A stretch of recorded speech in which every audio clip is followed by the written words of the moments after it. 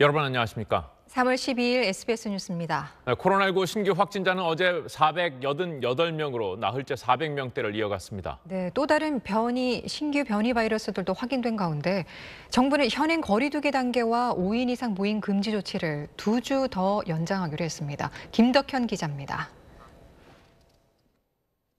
지금까지 국내에서 확인된 변이 바이러스는 영국, 남아프리카 공화국, 브라질발 세 종류였습니다. 여기에 미국 캘리포니아, 뉴욕, 그리고 영국 나이지리아발 변이 3종에 감염된 사례가 발견됐습니다. 지난 12월 이후 모두 75명으로 전체 변이 바이러스 257명 가운데 29%를 차지합니다.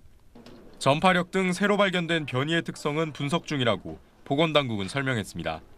크게 의미가 아직까지는 확인되지는 않은 상태이고 주요 변이 세 개와 동등하게 두려움을 가지거나 뭐 위협을 느끼거나 그럴 상황은 아니지만 저희가 철저하게 감시를 더 강화를 하겠다는 얘기를 추가로 드립니다.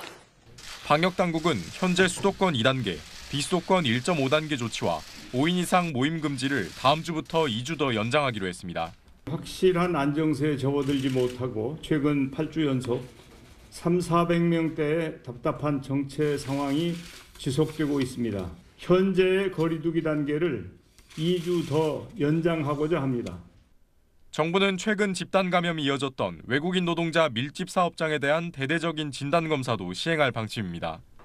당국은 거리두기 조정안과는 별도로 다음 주 거리두기 개편안을 확정합니다.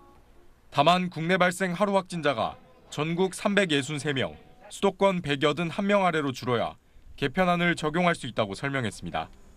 SBS 김덕현입니다.